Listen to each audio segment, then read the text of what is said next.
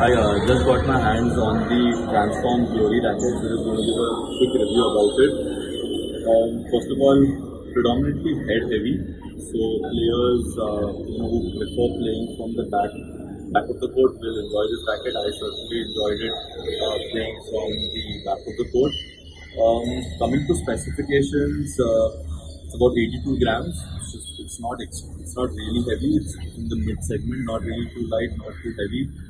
Um, it can take uh, a string tension of about 34 lbs, uh, which is which is as good as any of the top uh, brands going around.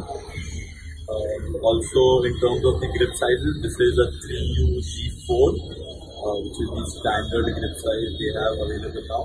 I've also put the the Transform number one string, as you can see, pretty nicely strung. Uh, made out of Japanese tea graphite, uh, which is one of the best in the world right now.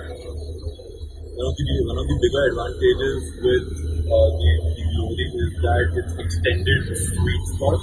As you can see, you know, it's got a bigger sweet spot than usual. Uh, so I just had a hit with it. Uh, I think it's a really good racket. Uh, if you want to buy this racket, uh, please go on to www.transformindia.com and check out other Transform India goods as well. Uh, but yeah.